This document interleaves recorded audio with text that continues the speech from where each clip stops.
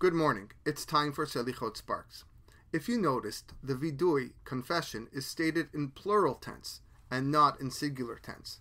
For example, we say asham nu, bagad nu, and not Ashamti and bagad ti. There are four reasons for this practice. When we confess, it's not just for ourselves, but for the entire Jewish people. The Jewish people are considered one body. As the statement goes, Kol Arevim Ze Laze. Our actions affect our brothers and sisters around the world. Therefore, if I confess, I actually help the quality of life to another Jew across the world who I might not even know. The second reason is the Vidui is recited for the previous bodies, the reincarnations that have housed our neshama in previous generations. We are only here in this world to rectify what our past mistakes were.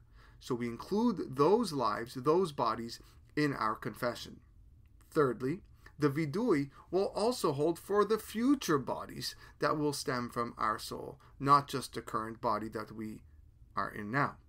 And lastly, when we have the opportunity to protest sins and we don't, guess what?